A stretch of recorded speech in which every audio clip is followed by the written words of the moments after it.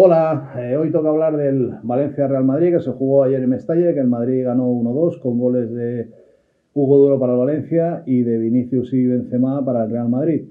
Los dos goles del Madrid llegaron en los minutos 86-88, eh, haciendo, dando por bueno que este Real Madrid se está acostumbrado esta temporada a ganar o empatar partidos en los minutos finales. Eh, Rodrigo lo hizo en Milán contra el Inter y ayer lo hicieron Vinicius y y Benzema que le dieron la vuelta a un partido que parecía que el Madrid iba a perder porque, porque Valencia lo estaba haciendo bien, pasa que acabó pagando el cansancio de todo lo que había corrido y luchado en, un partido eh, intenso y disputado eh, y en el que el Valencia demostró que de la mano de Bordalás no es el del año pasado. Y eso es una grandísima noticia para el fútbol español, que el Valencia vuelva, que, que plante cara a los potentes de la liga, porque al final Valencia es un grande de de la liga y el regreso de un equipo como el Valencia, pues, pues siempre es una buena noticia porque le da más, más, más picante, más lucha al título de liga.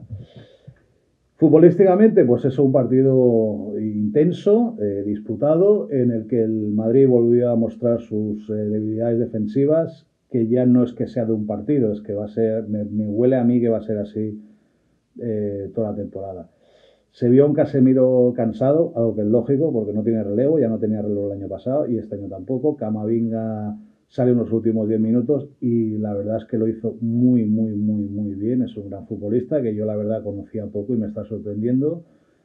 Pero bueno, el que ya es una realidad es Vinicius. Vinicius eh, ha dado ese paso adelante, ese golpe en la puerta y ya no hay nadie ni nada que se, que se le resista. Y juntado con Benzema pues es la pareja de moda en el Real Madrid.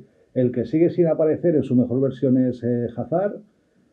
Hizo cosas muy buenas, sobre todo en la primera parte, en la segunda estuvo más apagado y, cuando el partido se tuvo que remontar, eh, Ancelotti lo sentó, sacó a Rodrigo que le dio más verticalidad y aire.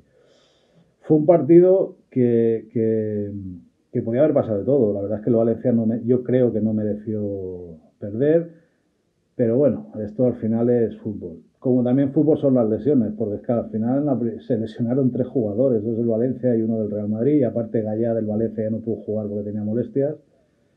Pero bueno, es lo que tiene el fútbol y este calendario eh, tan apretado que sigue, porque vuelve a haber fútbol el miércoles, el Madrid juega en casa contra el Mallorca, vuelve a haber fútbol el domingo, vuelve la Champions y así hasta el parón de selecciones de octubre. Pero bueno, de momento el Madrid con este triunfo en Mestalla es líder no juega excesivamente bien, tiene muchas debilidades defensivas, pero bueno, ahí está, primero.